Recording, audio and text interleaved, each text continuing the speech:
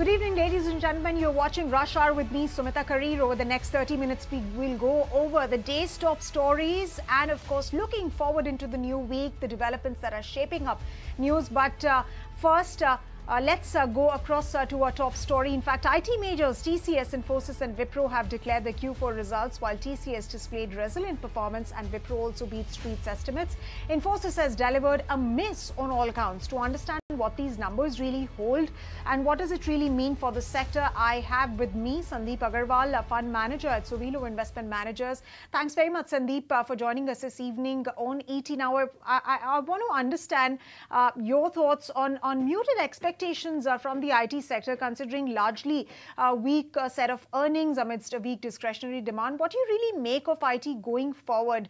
Is, is the demand environment really expected to see a reversal in H2? Yeah, hi, uh, good evening, and thanks for having me on the show. So, you know, uh, we are into IT services, so which is which always comes after the product or the software has been sold. So there is a demand which will come with a lag effect. So uh, if you see the last 25, 26 years of cycle, I have been tracking this sector for now more than 20 years. Always uh, we see first the first the innovators or the people who are making the product, the tech, big techs which make the product or the software product or the hardware. They are the bigger beneficiaries of the demand and then followed by the service providers. So we are service providers. We always get impacted with a lag effect and we also get benefited after a lag effect. So I think same like 2021 when you know COVID hit us bad in January, February, everyone was talking negative, and then March everyone started revising guidance upward, and we had a massive rally till end of 2021. Similarly, I think right now that we are at at the at the fag end where you know we our we are still getting impacted due to lack of spend which happened three four quarters back in the front runner of the big techs in the US. And now those companies have started reporting better numbers. We have seen Nasdaq making new high. All the even a stock like Microsoft is up more than 70% in a year's time. So now we will see demand coming our way also. But uh, remember that, you know, uh, this is a B2B business. So if any company see a lot of churn in their top leadership during these tough times, which generally happen, then the recovery in those companies will be uh, will, will, be very difficult. Uh, but the companies which have steady ship in terms of management, those companies will suddenly see good demand environment, good deal wins, and they will recover much faster and will generate better returns. All right, so you are saying that uh, a, a, reversal of sorts of the fortunes of uh, these uh, tech companies, IT companies uh, is of course inside. But I want to understand from you, Sandip, how soon is a reversal expected and how much how much of a contribution will a generative AI then make? Because uh, we heard Infosys' Salil Parekh really uh, being very, very upbeat as far as AI is concerned. He mentioned that they, they will see a lot of action as far as generative AI is concerned. So, you know, the, this is the way to look at the sector. Whenever a new technology comes in, then, you know, uh, the we are, since we are service provider, we have to uh, service our existing clients and we have to also train our people in the new technology and the proportion of the people in the beginning whom we can train because of lack of availability of talent to train those people is less. It picks up slowly and then once it starts uh, you know picking up pace the same thing happened. We have seen in every cycle we have seen this in IMS we have seen this in cloud we have seen this in digital and now generative AI will, can't be any different. So, you know, next three, four quarters, we will take more, more time to, you know, reach 60, 70 or 80% of the workforce to be trained in the generative AI side. Uh, while Accenture has already reached a substantial number, we will take some more time.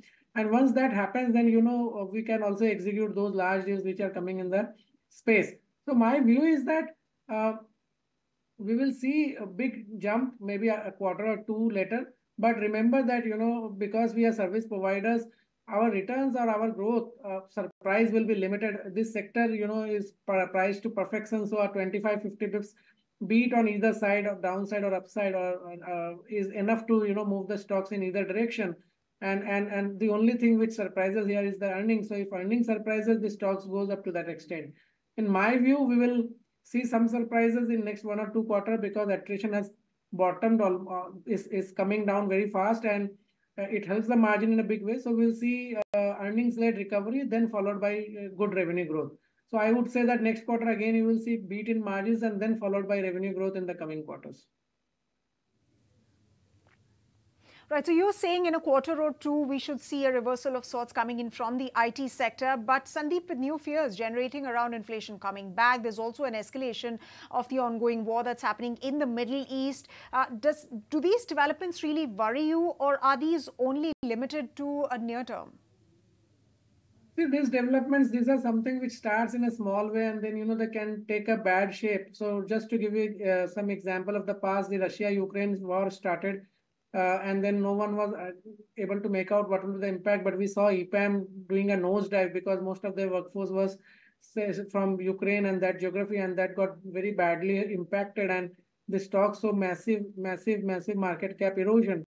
So it is very difficult to, you know, today uh, say what will happen, although in Israel and Iran in that region, I think only in Israel there is some workforce which is there for all the tech measures, but in Iran no one has any big impact. But what will be the impact, cascading impact of that and all those things? Whether client will stop their discretionary budget, uh, the economics will, what kind of turn the economics will take, what will be the impact on the crude? These are very difficult to say, but uh, let me put it this way: this IT services is something which you need to do. Whatever you have spent, you if you want to use those products or services you need to have annual maintenance contracts, you need to have IMS contracts, and also the impact on this will be less. But since they are always priced to perfection, the price earning multiple uh, uh, gets corrected very, very quickly. So war doesn't help anyone, and every no sector is immune except the defense, maybe. So I would not say that if, if the situation escalates, this sector will be immune to that. But I believe that in fundamental terms, in number terms, the impact will be less. All right. So, in fundamental terms, you're saying that the impact will be less, although an impact of a geopolitical uh, event and its ramifications, of course, is spread across sectors. But, Sandip, I also want to understand from you, and this is what analysts are saying, that a broader increase uh, in spending, at least as far as IT is concerned, is also expected due to US elections that are uh, due in November. Um, what is your take on that? That Does that really give some room uh, to raise hopes as far as IT is concerned, besides, of course, the other factors? So yes, absolutely. Uh, uh, this all the new tech companies are talking very positive. There is corporate tax cut which people are expecting going into the election, and any of those kind of measures. Then you know those additional spend do help in allocating more budgets to tech. And uh, we are such a small piece of the overall tech budgets that even a small change there of 25 50 basis point can make a big change because remember all the incremental money which is allocated generally finds its way to the best, most efficient and cheapest geographies to execute. So from that perspective, we always have an ad advantage. So I think uh, to that extent, we will be bigger beneficiaries going into elections, but also with it comes some rhetorics of uh, uh, of localization and all that. We don't know if that fear comes first or the growth comes first. So if the fear of localization comes first, then the stocks can in fact uh, go down first before they go up. So, so that that risk is always there. Right, Sandip, and I have to ask you this question as far as jobs are concerned, considering that, you know, this has been a big theme across, uh, you know, the past few quarters. Uh, you also mentioned the point about attrition coming down sequentially and coming down uh, gradually. Uh, what is your overall assessment of whether jobs and how much uh, of an uptick will be seen in IT-related jobs? Because uh, let me quote, let me quote a research, especially staff staffing firm Xpheno here. They've warned of a 40 to 50 percent drop in hiring as far as IT is concerned. What's your take on that? So uh, it, it is factually correct. And, you know, we have seen in every cycle when growth doesn't come, the IT, IT companies stop uh, aggressive hiring. And because there is a natural attrition of between 14 to 20%, uh, if you don't replace it with a bigger number, there'll be a fall in net headcount. But this is a, um, something which has been happening for last 25 years, honestly. And uh, and, and I think there is no perfect way to manage this, and that's the reason that at the at the bottom of the cycle, uh, the, the the bench is also at the bottom, and the manpower is also at the bottom. And suddenly, when demand moves up, everyone goes chasing those limited manpower which is available and ends up hitting the margins very badly. So today we are seeing bottom of attrition, which suggests that there is very less demand for the people. If suddenly, you know, for a billion or one and a half billion dollar of contract gets awarded to the whole Indian IT industry in the large cap name, it will mean substantial number of people required suddenly and that those number of people may not be immediately available because what is available is fresher workforce, not the experienced workforce. So everyone starts wooing each other's manpower and that leads to sharp jump in wage and that goes and impacts the margin. So this cycle always goes on. You have the least number of people at the bottom of cycle because you want to be in the margin band which you have guided for. And then if suddenly demand comes, it comes and hits you very hard on the margin front. So we have seen this seven or eight times in last 22 years. So this is not something new. But my view is that we should take some hit in our books in terms of margin and always have a decent bench because if you have a decent bench, then the chances of those impact is is little bit controlled, contained. So very difficult to you know project when that will play out. But let me put it this way: I don't think that our growth will further go downhill from here because one more reason is that first half generally for Indian IT services is very good. So you are getting into uh, quarter one and quarter two, which will be better than what you have seen in the last two quarters. So in that period, if your network force is negative, it may hurt you uh, uh, from from margin perspective. All right, so you're saying that, uh, of course, uh, the worst is over as far as the IT sector is concerned, and quarter one and quarter two are going to be great. One final question uh, from you, Sandip, before we let you go. Now, Nifty IT is down over 4% this week. Uh, you know, keeping in mind all that's been happening and keeping in mind your projections for the IT sector, what are you recommending to investors?